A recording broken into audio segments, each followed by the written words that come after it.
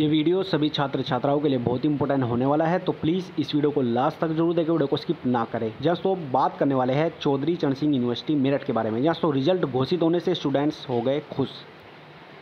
चौधरी चरण सिंह विश्वविद्यालय से संबंध कॉलेजों में संचालित MSc AG genetic and plant breeding first semester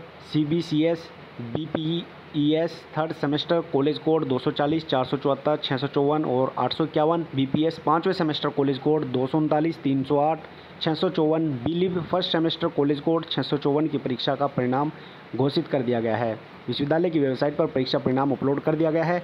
आप सभी छात्र छात्राएँ विश्वविद्यालय की ऑफिशियल वेबसाइट पर जाकर के रिज़ल्ट पर क्लिक करके अपने रिजल्ट्स को चेक कर सकते हैं।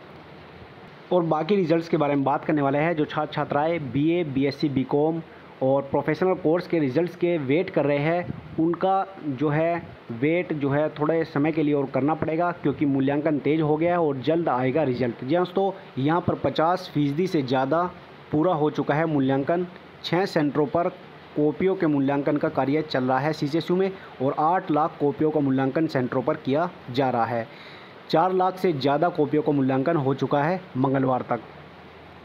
तो यहाँ पर सभी छात्र छात्राओं का जो रिज़ल्ट है, वो बहुत ही जल्द आने वाला है। जैसा ही यहाँ पर मूल्यांकन 100 परसेंट हो जाता है तो आपका रिज़ल्ट घोषित कर दिया जाएगा। तो यहाँ पर वीसी के प्रोफेसर एन के तनेजा ने भी शिक्षकों को निर्देश दिए हैं कि मूल्यांकन का कार्य समय से जो है नियत ले ऐसे में मूल्यांकन के कार्य को तेज़ी के साथ करने का प्रयास किया जा रहा है। मूल्यांकन कार्य को लेकर वीसी ने साफ़ कर दिया है कि किसी तरह की गलतियाँ न हो, इसका पूरा ध्यान रखें। यूनिवर्सिटी में अब प्रयास किया जा रहा है कि जल्द ही प्रक्रिया पूरी होने वाली है। उम्मीद है कि बीस सितंबर तक मूल्यांकन पूरा कर लिया जाएगा। तो आपका रिज़ल्ट जो है, बीस से पच्चीस सितंबर के बीच आ सकता है। तो सभी छात्र धैर्य बनाए रखें, आपका रिज़ल्ट बहुत ही जल्द आने वाला है। तो उसके बाद बात करने वाले हैं छत्रपति साहू जी महाराज विश्वविद्यालय कानपुर के बारे में। आप सभी को पता है कि आपका BA final BSc final BCom final और एमए सेकेंड ईयर का रिज़ल्ट घोषित हो चुका था, लेकिन इसमें छात्रों ने यूनिवर्सिटी को कंप्लेन की थी कि रिज़ल्ट्स में गड़बड़ी है और बहुत सारे छात्रों ने जो है यहाँ पर ज्ञापन भी दिया था कि रिज़ल्ट को दोबारा से अपडेट किया जाए। तो यहाँ पर वीसी ने संज्ञान लिया है और अपने रिज़ल्ट को छात्रों के द्वारा जो संज्ञान लेने के साथ में उनका रिज़ल्ट जो है अपडेट किया गया है और यहाँ पर सभी छात्रों के मार्क्स कुछ न कुछ बड़े हैं। कुछ छात्रों के मार्क्स जो है सोशल मीडिया पर देखने को मिल रहे हैं कि यहाँ पर उन्होंने शेयर किया है कि हमारे मार्क्स पहले से घट भी गए हैं।